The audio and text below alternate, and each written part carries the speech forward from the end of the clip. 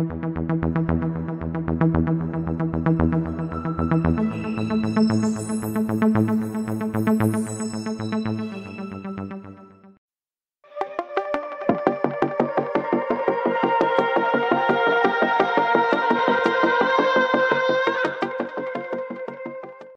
to Score More News Media, news media division from Score More Foundation.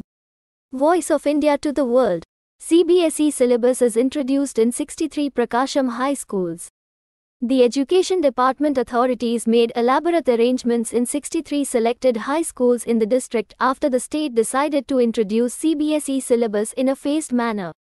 Thank you for watching.